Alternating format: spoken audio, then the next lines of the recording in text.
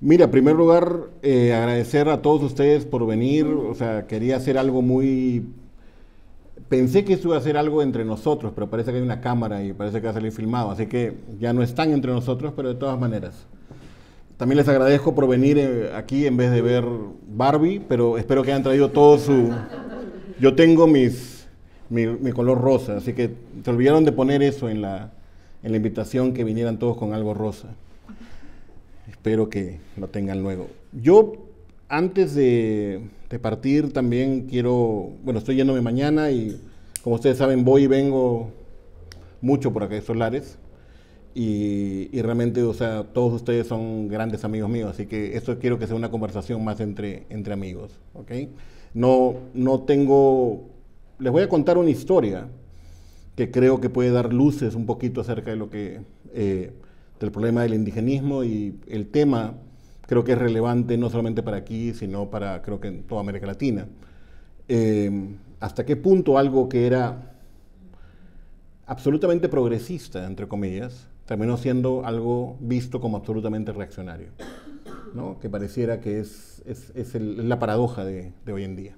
¿no? Es decir, ¿y por qué creo que es importante conversar sobre esto? Porque creo que se plantean perspectivas muy complejas eh, que es interesante analizar y que es importante poder dar cuenta. Y creo que de alguna manera el arte nos da cuenta de ciertos movimientos tectónicos eh, culturales que son importantes tener en cuenta. Ustedes acaban de, rechazar una, una, un proyecto de constitución, entre otras cosas, por justamente tener un problema, eh, y no quiero, aquí este, no, soy, no me creo experto en esto, pero por un problema pareciera que también tiene que ver con los pueblos originarios. Entonces, eh, y creo que es central, va a venirse dando entonces, quisiera contar la historia de otro país, el cual quiero mucho y con el cual he trabajado muchísimo, que es Guatemala. Voy a pasar un poquito por el Perú y luego voy a terminar de repente por estos lares. Así que sin más, vamos a ver cómo nos sale. ¿Les parece? Eh, creo que es importante también recargar que es un momento importante para el indigenismo, se va, en unas pocas semanas se abre la exhibición Grande Indigenismo en Colombia, en Bogotá, en el, Banco de la República, y también porque ha aparecido una serie de textos importantes, entre ellos el de un monumental trabajo de Natalia Magluf en torno a, a, Francisco Lazo, que lo vamos a ver en un segundo. ¿no? Es decir, y quizás el problema tiene que ver con esto. ¿no? Tiene que ver, eh, y voy a regresar esto al final, la manera como está entendida eh, la traducción del libro. La traducción del libro de Natalia en español se llama La invención del indio. ¿Okay? Y mientras que el libro en inglés se llama Inventing Indigenism, inventando el indigenismo. Y quizás en esa relación es donde puede estar este problema que estamos viendo de que algo que, por un tiempo fue visto como progresista, pareciera que ahora no pasa. Eso es de fondo lo que voy a tratar de decir. ¿no? Es decir, es en ese, en ese paso de, una, de, una, de uno al otro que pareciera que hay un problema. El libro de Natalia es absolutamente monumental y extraordinario. Se los recomiendo mucho y espero que llegue a esa, espero que pronto Sergio tenga copias y puedan todos disfrutar el libro porque es realmente notable. Pero bien, voy a comenzar con una, una pequeña historia. Y eso ha dividido en tres partes. La primera se llama Antes tú me pichabas, la segunda se llama Ahora yo picheo, y la tercera parte es eh, eh, Antes tú querías, ahora yo no quiero. Básicamente es el estribillo de una canción de Bad Bunny. ¿no? Eh, esta primera parte tiene que ver, pichar significa en, en puertorriqueño significa no, no, querer, o sea, olvidarte, no eh, estar en eh, ignorar a alguien. ¿no? Y esto es básicamente la historia de, de, un, de, de un, eh, una serie de pautas para ignorar a ciertos grupos. Entonces voy a comenzar con esto. Imagínense que hoy día se van, hoy día ustedes son unos Beatles o algo por el estilo y se van de Nueva York a Liverpool o de Liverpool a Nueva York. ¿Ok? En ambos casos, ustedes van a encontrar en los mejores lugares de la ciudad la exhibición de un artista guatemalteco que se llama Edgar Calel. ¿Ok? Esto está en el Sculpture Center de Nueva York y ha sido destacado como una de las mejores exhibiciones de este verano. Esa es la obra de Calel. Se llama Jaguar Stone, piedra de jaguar. Quiero que la vean bien. Esto es lo que dice Holland Kotler, el, Holland Kotler, el, gran em, crítico del New York Times. La pieza que resulta en el Sculpture Center es hermosa para ver, no es una obra religiosa en, ningún sentido angosto, es una estación de carga espiritual de múltiples propósitos real. ¿Ok? Entonces ustedes cogen el avión y se van a Liverpool ahora, así como, y encuentran la obra de Kalel en Liverpool, en la Bienal de Liverpool, en el Tate de Liverpool.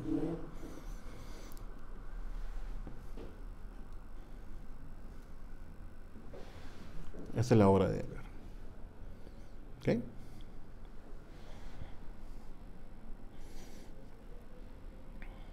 Ahora ustedes al ver esta obra se dan cuenta, se acuerdan de que hace unos años, en el 2021, esta obra estuvo ya en Inglaterra, en Frieze, en la feria de Frieze.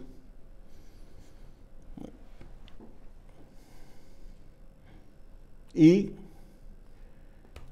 que tuvo una venta muy particular, porque no fue venta, fue la primera obra en el Tate que fue aceptada o adquirida en custodia y no en compra.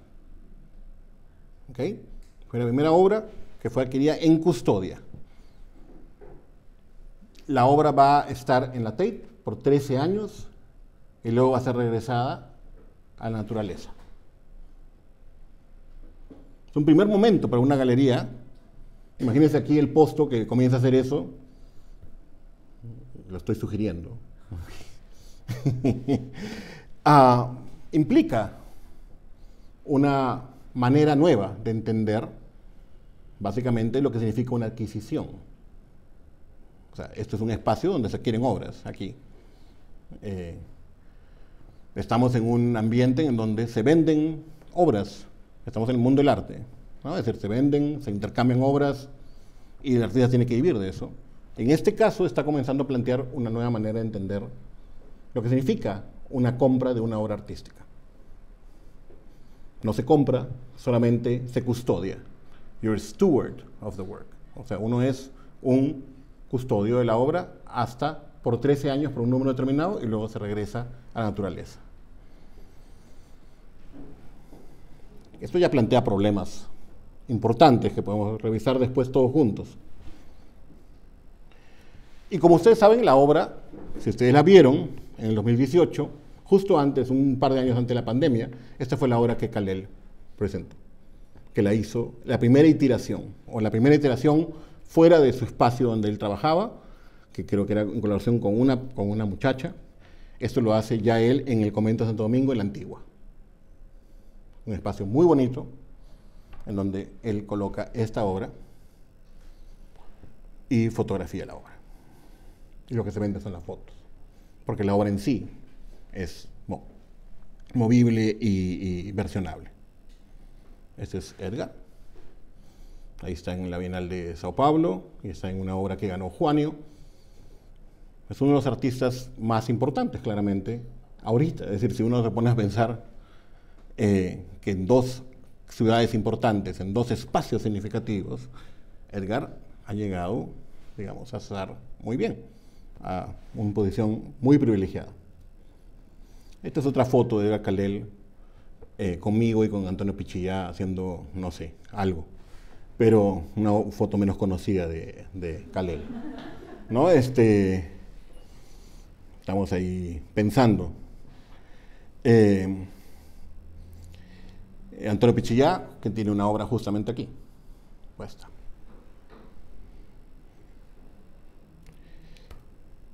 ¿Qué llevó a esto? ¿Cómo se llegó a esta posición? Un artista indígena guatemalteco a tener una obra tan poderosa, y no solamente tan poderosa, sino tan increíblemente representada y presentada en diversas partes de, eh, el mundo. Guatemala, como ustedes saben, es un quizás el secreto mejor guardado de, de América Latina en términos de arte. ¿no? Tiene por metro cuadrado una cantidad de artistas extraordinarios desde siempre, ¿no? Díganle que no hay nadie. Este, entonces les voy a contar un poquito cómo llegamos hasta aquí y qué significa llegar hasta aquí y qué significa en general para el mundo del arte en Guatemala. Regresemos al año 96. Se firma la paz en Guatemala como ustedes saben, 200.000 mil muertos y 50.000 desaparecidos. se firma la paz después de mucho tiempo. Año 96 y el año 99 hasta el 2001 se, abre, se hace la apertura económica de Guatemala. O sea, de una economía cerrada, semi-protegida, digamos, de sustitución de importaciones, se pasa a una economía abierta. Y quienes, lo mejores, quienes mejor registran ese paso son los artistas de una manera muy, muy clara, en términos de materialidad, de su materialidad. Esto es Darío Escobar, ustedes conocen bien esa obra, em, en donde hace un spoof, básicamente, de em, la, taza de, el vaso de McDonald's, sino esta vez eh, revestido por eh, oro, pan de oro, como si fuera una una, taza barroca o un jarrón barroco. Lo mismo pasa con la con em, el cornflakes, con la caja de cornflakes, objetos que acababan de llegar, que comenzaban a llegar en esta apertura. Llegaba McDonald's, llegaban cornflakes, llegaban cosas por el estilo, y se convertían una vez ahora, sin ningún pan intended, sagrada mercancía. ¿no? Este, Y este es Aníbal López, uno de los grandes artistas guatemaltecos que murió hace unos años, donde también da cuenta, básicamente, esta vez en hacer cajas, donde por primera vez había muchísimo tráfico de cosas, muchísima cantidad de, mercancía y de bienes moviéndose alrededor y todos venían en caja. Y todos podían estar en caja. Todo podía entrar en una caja en la actualidad. Porque en verdad todo puede entrar en una caja en un container, que es una caja de cajas, ¿no? Esa es la obra de la serie Importación-Exportación. Justamente acababa de pasar los, en 1992, ¿no? Y acá lo que tienes es una serie de cajas en donde él reconstruye a un ser humano. Tú puedes reponerla, ¿no? Es decir, rehacerla, ¿no? Eh, estas cajas, dando cuenta básicamente de que el trabajo, la labor eh, de las personas ahora está contenida en ese producto que es eh, intercambiable y movible. Una lijadora de Aníbal, también de la misma época, en donde creo que la, el corte entre, las dos, entre los dos marcos da cuenta también de esa de, ese, ese, pequeño espacio en donde todavía las cosas están, se entienden, se movilizan, pero son nuevas para ellos. Ahora, esa generación que tuvo a Aníbal López, a Darío y a Regina José Galindo, por ejemplo, como, como grandes epígonos, grandes figuras, que son absolutamente notables, ¿no? son artistas extraordinariamente eh, prolíficos y buenos, Eh, yo he escrito sobre Darío, un libro sobre Darío, eh, me interesa escribir sobre Aníbal, sobre Regina, ambos son, todos son realmente extraordinarios. Pero el punto es que aún había un sujeto nacional más o menos siendo el artista, siendo los artistas. Y eso voy a, voy a entrar en esto en un segundo. Un artista nacional criollo, digamos.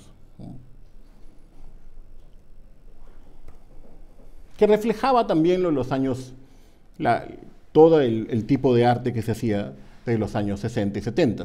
Acá tienen ustedes a Roberto Cabrera, a Margarita Zurdia, al Grupo Vértebra, a Luis Díaz. Todos ellos sujetos nacionales, más o menos claro. Sin embargo, algo sucede antes, eh, pero incluso el artista quizás más particular de, la época de los 60, 70 y 80, Francisco Tun, que era indígena, no reivindicaba su tradición indígena, de alguna manera, de una manera clara. ¿no? Es decir, no había esos instrumentos todavía. Esto es Francisco Tun, él había nacido en La Limonada, en el barrio de La Limonada, un barrio muy pobre, ¿no? Pero era de familia indígena. La obra es absolutamente notable, la van a ver. Esto es Tun.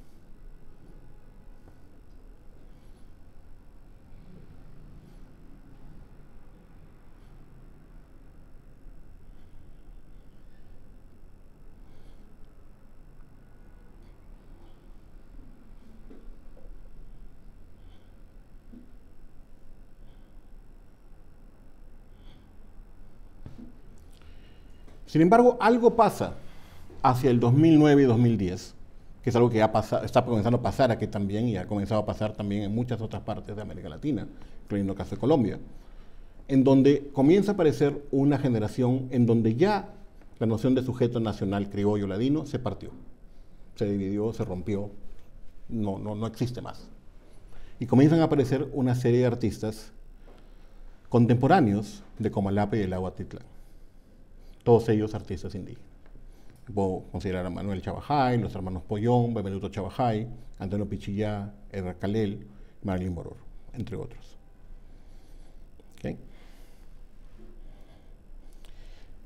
Esta es la obra de Benvenuto Chabajay, artista indígena contemporáneo, que también registra este cambio de materialidad en términos objetuales.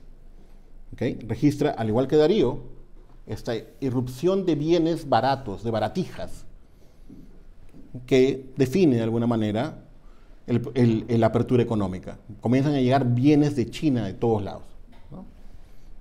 Y para todo. Estos es mangos chupados con piercings.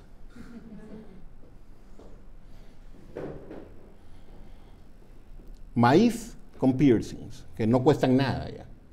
Ahí en la misma objetualidad lo que estás viendo es ese paso a un tipo de em, a un tipo de mercancía que uno ya puede llegar a tener sin ningún inconveniente, porque no cuestan ¿qué? nada, no cuestan absolutamente nada.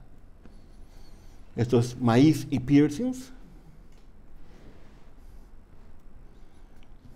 Más piercings. Es absolutamente notable. Mazorcas de diamantes, o sea, en un lado, poniendo en cuenta que ellos, es decir, como, como, como artista indígena, la mazorca tiene un papel fundamental en su vida, y por otro lado, el piercing, o los diamantes, o la fantasía, entre comillas, mercantil, que define a la contemporaneidad. Ya Benvenuto había hecho una serie de obras bastante interesantes jugando exactamente con lo mismo. En este caso, interviniendo piedras, en términos escultóricos, con objetos de la vida cotidiana y que se pueden también comprar de muchas, es decir, muy baratamente. Quizá la obra más famosa de él es esta obra, una de las obras más famosas en ese momento es esta obra que se llama, que, bueno, tenía, son piedras básicamente, donde él coge la sandalia, la parte de la sandalia, esto de chapina, y la inserta dentro, la interviene dentro de la piedra. Esto se llama río de piedras o jardín.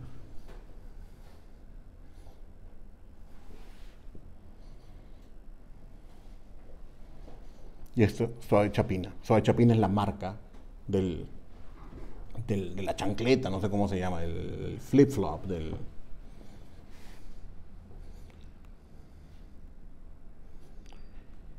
Esto ya había venido haciendo Benvenuto, ¿no? Es decir, y así ha sido un trabajo, pero acá ven otro, otro...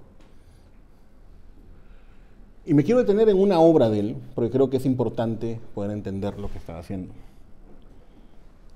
Hay un proyecto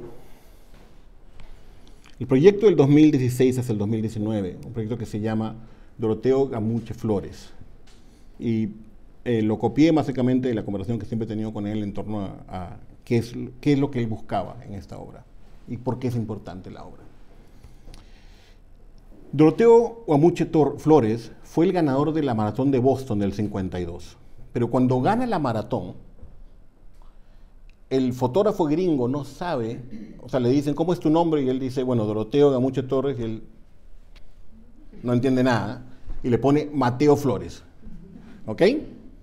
Entonces hay un borramiento, evidentemente, de su origen indígena. ¿no? Entonces, lo que él quería hacer, y el Estadio Nacional de Guatemala se llamó, después de la Revolución de Guatemala, o sea, en el 54, se llamó Doroteo, perdón, Mateo Flores. ¿Ok? Nadie sabía realmente cuál era su nombre, porque, bueno, sabía en aquel momento, en el 52, había, se había obviado por, por, este, por este problema de la traducción gringa. Entonces, la obra consistió en tatuarse en la espalda, en la espalda la cédula de Doroteo Gamuche Flores, en donde aparece su verdadero nombre. Esto es sacado de él. Con este proyecto se pretende también proponer a las autoridades el cambiar el nombre del estadio Mateo Flores a Doroteo Gamucho, como un gesto para sanar una herida de los pueblos que ha sido silenciados y excluidos. Eso es copiado de lo que me mandó. Lo interesante es que lo logró hacer. Esa es la parte que es fundamental aquí. ¿no? El Día Nacional de los Pueblos Indígenas se aprobó por el Congreso de la República, la ley decreto eh, que se cambió de Mateo Flores a Doroteo Gamuche. El, 14 de septiembre del 2016 se veló el nombre del coloso del Estadio Nacional Doroteo Gamuche y el 2019 él se tatúa la cédula en la espalda.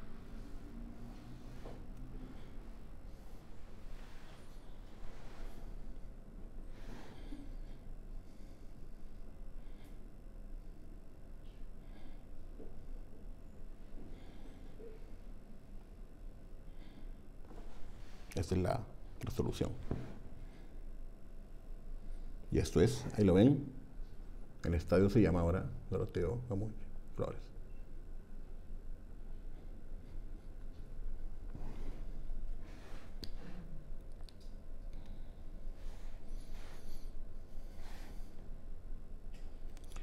Decir que Benvenuto Chavajay, que Edgar Calel, que Antonio Pichilla, todos esos artistas realmente notables han llegado a una posición en la cual pueden convocar una serie de cosas, están en galerías importantes.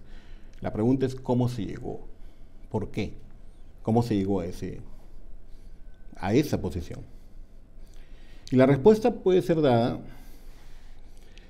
eh, de una manera, voy a contar una manera eh, ya que creo que es, es, fundamental y que es de alguna manera eh, lo que puede predecir lo que está sucediendo en la actualidad, no solamente con Chile, sino también en otras partes de América Latina. Ya la obra de estos muchachos tiene casi como 20 años de, trabajo muy fuerte, que ya está incluida y no separada del canon nacional. El canon nacional se movió, se movió. Si ustedes ven una exhibición como República de Hugo V en el 2021, la obra está incorporada. Ustedes pueden ver ahí, Suave Chapina, atrás, una mezcla de diferentes artistas. en la, una de las primeras obras de Arcalel, que está abajo, la obra de Manuel Chabajay, en medio de otras obras, de Darío, de Regina, ya no hay una distinción aquí. Esta es parte de la obra. Entonces está Darío un lado, eh, uno de los pollones en la otra parte, y el Arcalel con la obra de, los, cielos em, dentro de eh, cajitas de, de cartón. Son unas cosas muy bonitas, son unos cielos que se abren. Lo mismo aquí. Aquí pueden ver la obra de Calel, atrás, mezclada con una obra de Pedro Reyes, con una obra de, qué sé yo, una serie de gente. Una vez más, ya no hay esa distinción importante de hacer. La obra de Aníbal López, El préstamo, la famosa obra en la cual él roba a alguien, ¿no? y dice, es decir, estoy eh, pagando la exhibición con el robo que le cometió tal persona, con la obra de Benvenuto al lado. O sea, esa es, eso, se, eso se mezcló. Ya es parte del canon. Ya pueden ver una obra de Pollón, de Ángel Pollón. Entonces, ¿qué fue lo que pasó?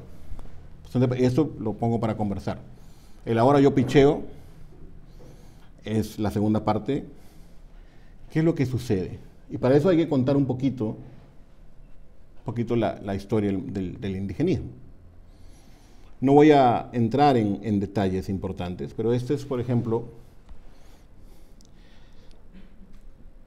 no son de la, portada del libro de, del libro de Natalia sobre de la obra de Lazo, el famoso habitante de las cordilleras del Perú, que de alguna manera supone Estamos hablando de 1855. Una de las primeras obras en donde se puede ver ese vestigio, o sea, ese primer impronta indigenista. ¿Cuál es lo interesante aquí? Es que el indígena, entre comillas, el habitante de la cordillera, tiene un huaco. Es decir, conoce su historia. ¿no? Conoce su historia. Y eso es importante porque em, por mucho tiempo en el Perú y en, en otras ah, partes de las Américas, siempre hubo un interés por, por resalzar, por resaltar aquello que era glorioso, aquello que era grande, aquello que era importante, si era indígena, pero no el presente. Entonces, era Inca sí, indios no, como se llama uno de los famosos textos de, Cecilia Méndez, ¿no? de una historiadora peruana. Incas, de todas maneras, porque los incas pues hicieron Machu Picchu, eran grandiosos, eran geniales, eran extraordinarios, pero indios no. Sin embargo, aquí hay una continuidad. Aquí lo que están viendo es una el mismo sujeto, el mismo, habitante, tiene una, una vasija.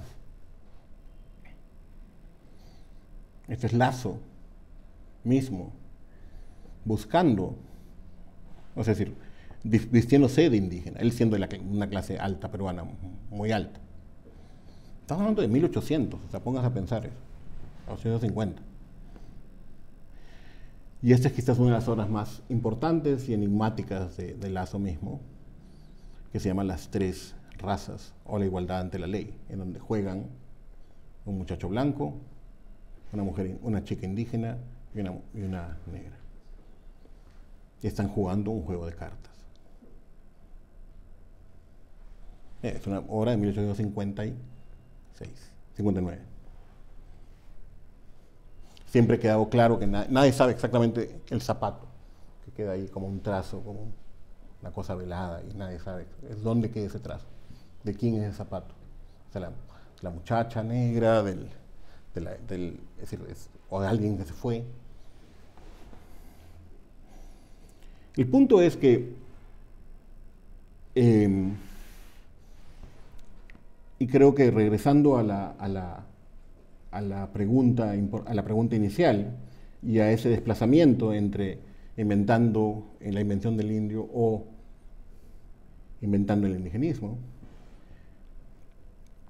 el punto está en que parte del asunto por el cual el indigenismo está de capa caída es simple y llanamente por el problema de la representación.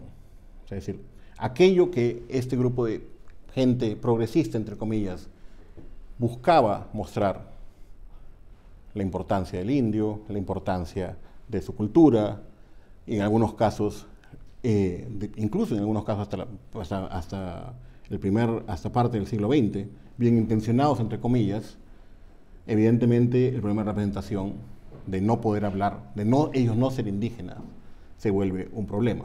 Y se vuelve un problema insalvable para el indigenismo en general.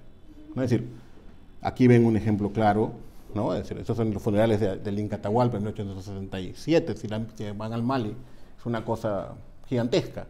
O sea, más, el lanzamiento del Inca y no el indígena. Que tiene que ver con esto. Pero el punto es,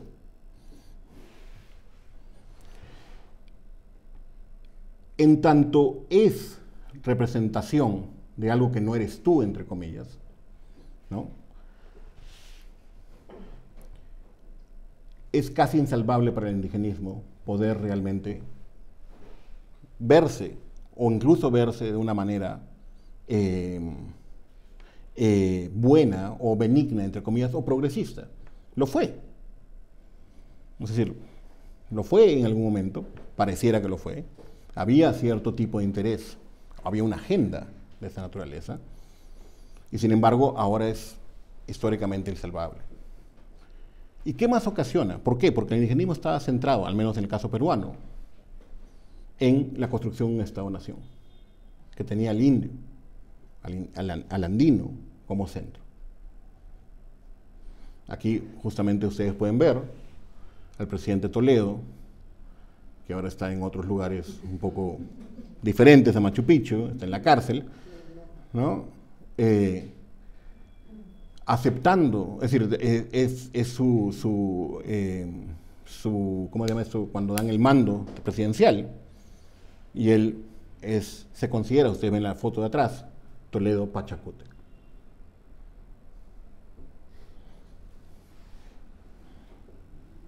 Pero lo mismo pasaba con Abimael Guzmán.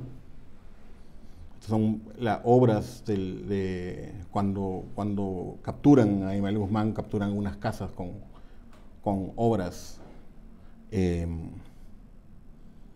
con obras eh, pictóricas en, em, en su nombre, en su honor, y lo que pueden ver es básicamente que él también era Incarri Machu Incarri Pachacuti.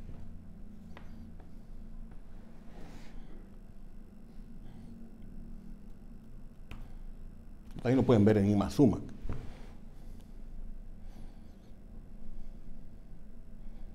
Que más parece aquí algo, no tiene nada de Inca, pero supuestamente es Inca. O sea, en esa, en esa foto. O lo puedes ver en la Revolución de Velasco, con el icono de Tupac Amaru. Ahí está atrás Tupac Amaru, y esto es, como ustedes saben, Ruiz Durán, el, que hace los pósteres más interesantes, ¿no? es decir, de la, de la época de la Revolución Velasquista del 68. 190 años después, Tupac Amaru que está ganando la guerra. Y lo que ves es una imagen muy interesante, de, pero que estaban en todos lados. La ven aquí en, el, en la cosita ahí, en el dibujito ahí.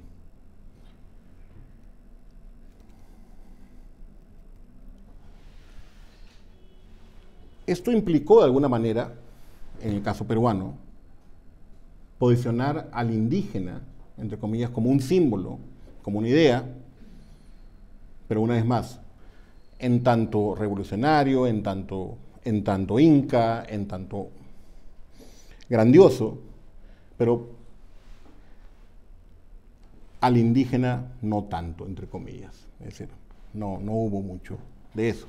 Hubo una parte, ¿no? se logró una parte, entre comillas, pero no completamente pero sí logró, de alguna manera, crear una serie de íconos y de ideas y de la construcción de una suerte de Estado-nación ¿no? en torno a la figura del indio. Esto evidentemente no pasó en Guatemala. En Guatemala sucedió más bien algo diferente. No hubo esa suerte de interés de crear un sujeto nacional indio o mestizo o criollo, sino más bien no hubo. Se quedó en blanco. Y eso supuso que hacia más o menos 1980, 1990, una de las cosas más interesantes que sucedió es que cambios radicales después de, entre, o sea, después de la guerra, durante la guerra y después de la guerra, sucedieran. Y sucedieran de una manera mucho más rápida y fértil.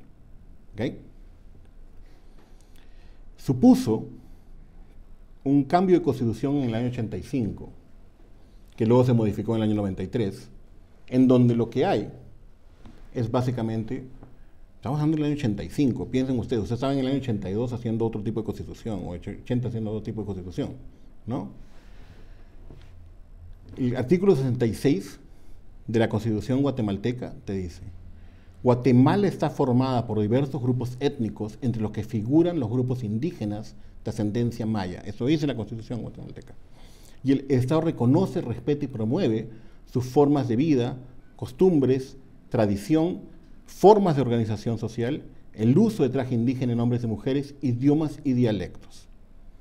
Y les da, por primera vez, un marco legal diferenciado, en el año 85. ¿Okay? hay no tierras para las comunidades, sino también hay protección a la cultura indígena.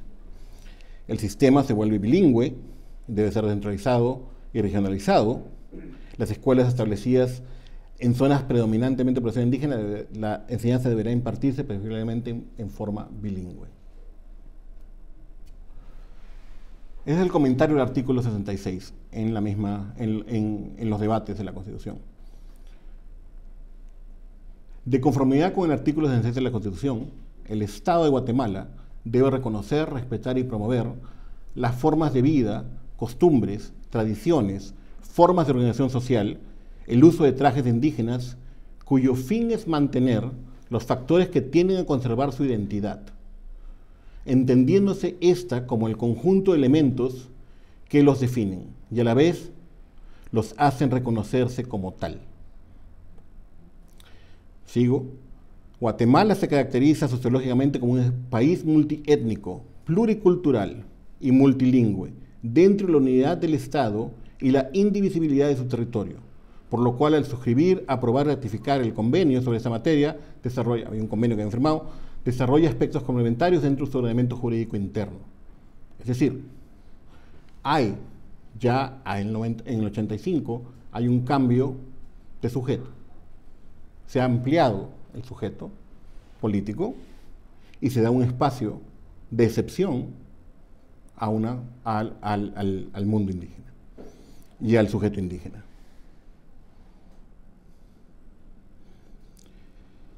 Estos, o sea, estaban firmando más bien este, que era muy diferente.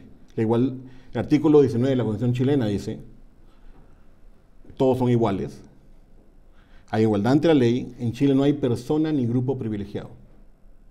Básicamente un solo sujeto político, en vez de ya una distinción clara.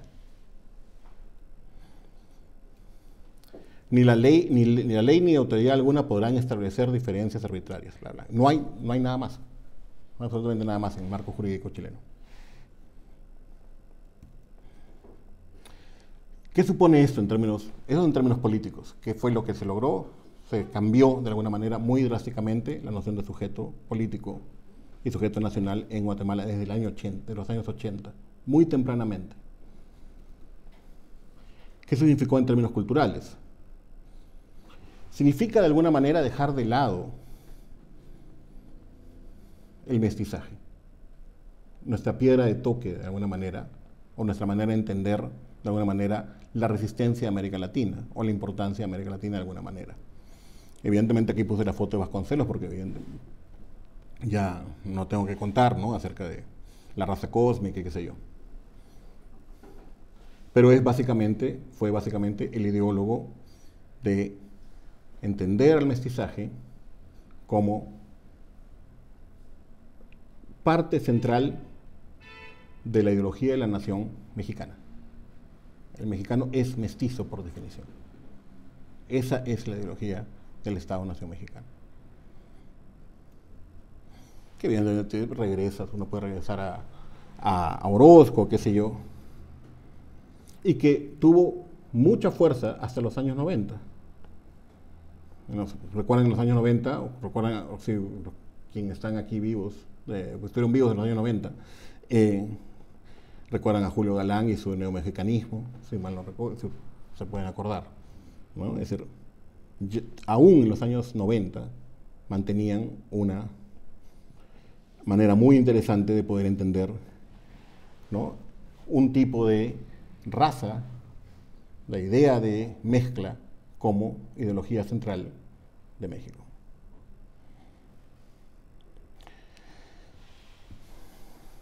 Implica, de alguna manera,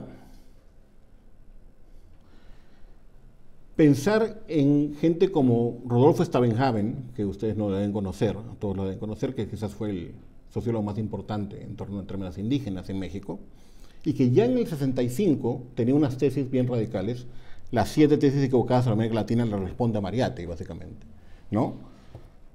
Pero una es, una tesis equivocada es, para Stavenhaven en el 65 ya, la integración nacional en América Latina es producto del mestizaje. Es decir, ya desde entonces era claro para mucha gente que el modelo del mestizaje no daba para más.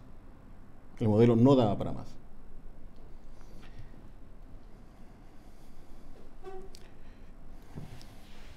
Supone también, evidentemente, ya a partir de los años 2000, algo que ya Gerardo Mosquera había previsto también, también los límites de ese mestizaje, en tanto producto híbrido en el cual todo podía caber. leo a Mosquera. Otra dificultad que el modelo de hibridación, modelo de hibridación o mestizaje, lleva a pensar los procesos interculturales a través de una operación de tipo matemático mediante división y suma de elementos, cuyo resultado es un terdium quid fruit, es un terdium quid, fruto de la mezcla, o sea, un tercero elemento fruto de la mezcla. El tipo de modelos oscurece la creación cultural propia que no es necesariamente consecuencia de la amalgama, sino de la invención o del uso específico diferente de elementos no hibridados. Por otra parte, y esta es la parte que creo que es importante, tiende a asumir todos los componentes culturales como abiertos a la mezcla, dejando de considerar aquellos que no se disuelven. La mezcla no disuelve todos los espacios o todas las cosas. Y la resistencia a la hibridación, fruto de asimetría, asimetrías difíciles de compatibilizar. Estas no siempre responden a fundamentalismos conservadores, ni son una consecuencia artificial de políticas de la autenticidad, que imponen una vuelta a unos orígenes puros, esencializados. Es decir, no está creyendo que eso supone un esencialismo lato. Eso es quizás lo más fundamental de este cambio en Guatemala. Supone, pues, que aquello que hemos creído, que es parte central de América Latina, el espacio de la resistencia de América Latina, el darle vuelta a América Latina, que América Latina le podía dar vuelta a muchas cosas, precisamente porque todo podía caber. La matriz era una matriz barroca que se ha cambiado la matriz completa. Esto no da para más. Les pongo aquí eh, una iglesia en, en ¿no? en, en México. Que quizás es el caso más ejemplar de barroco de Indias, donde todo puede caber. Claramente, no todo cabe. Y hay espacios que no caben. Hay cosas que no caben más. Implica de alguna manera cortar con esa idea, que ya, como digo, estaba en Haven, tenía claro. La integración nacional en América Latina es producto de mestizaje, es falso. Guatemala lo asumió en el 85, al momento de diferenciar políticamente un grupo de gente.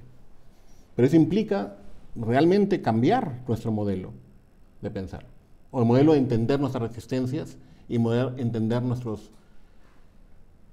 grandiosos aportes y contribuciones que se han creado desde el modernismo.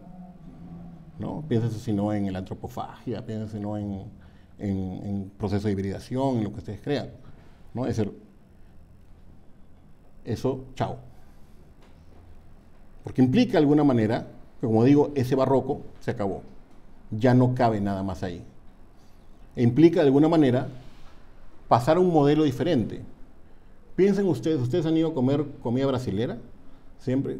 ¿Qué es? Es un montón de comidas separadas. Tú le agregas lo que sea, pero no se mezclan. Esa es un poquito la idea. Están en compartimientos estancos. ¿no? Es decir, comida brasilera, ¿qué es? Es un montón de cosas de diversos países, pero que no están mezcladas. O uno va a un buffet brasileño, come sushi, come carne, come pasta, come esto, pero no están todas separaditas. Son compartimentos estancos, ¿no?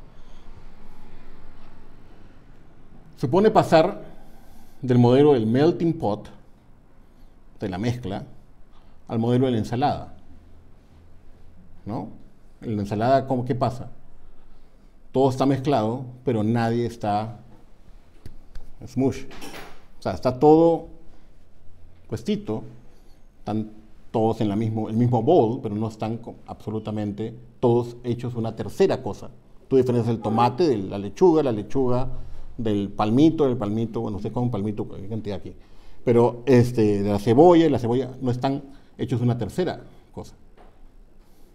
Implica de alguna manera que ganó el modelo norteamericano, y es por eso que el modelo norteamericano funciona de esa manera. Es un modelo absolutamente diferente al modelo barroco. Es el modelo del hyphen. Tú puedes ser algo American. No te mezclas, estás en compartimentos estancos. Ya quizás el más importante eh, escritor teórico de esto eh, lo había previsto. Mario Roberto Morales en Guatemala, que ha muerto hace un par de años, eh, tiene un libro notable, si ustedes lo pueden ver, se llama El síndrome de Machimón o la articulación de las diferencias. Y es justamente la respuesta guatemalteca a no caer, a no perder de alguna manera el, la matriz barroca de alguna manera, que le interesa mantener un poco el mestizaje, pero tiene que dar cuenta también de que hay ciertos espacios que no van a, no van a mezclarse nunca y que no están mezclados, que están como con grumos, si queremos llamarlo así, en esta, en esta, en esta sopa, entre comillas, que hemos querido pensar que funciona de esa manera.